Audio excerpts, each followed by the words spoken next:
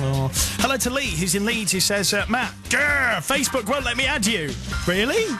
I, I, I don't know if I've uh, I've sort of blown the limit for tonight with new friends. So many new friends. Thank you very much if you've been on my Facebook tonight.